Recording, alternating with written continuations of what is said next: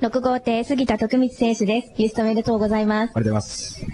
杉田選手、予選道中には転覆というアクシデントもありましたけれども、何か船足に影響はありましたでしょうか、うーん、ちょっと、伸びは、あの、転覆前よりは落ちたなっていう感じはあります。はい。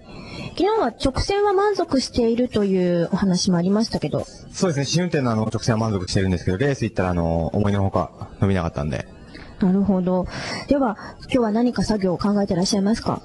うーん、そんなに大きなことは考えてないんですけど、もう一回乗って考えます。はい、わかりました。えー、杉田選手、今日は6号艇ということですが、レースに向けてイメージというのは何か？うん、多分あの、枠なりになると思うんで、まずあの、乗りやすさつけてあの、展開つけるような足にしたいです。はい。それでは最後にファンの方に一言お願いいたします。えー、あの、ロコ艇なんですけど、優勝できるように頑張るんで、応援よろしくお願いします。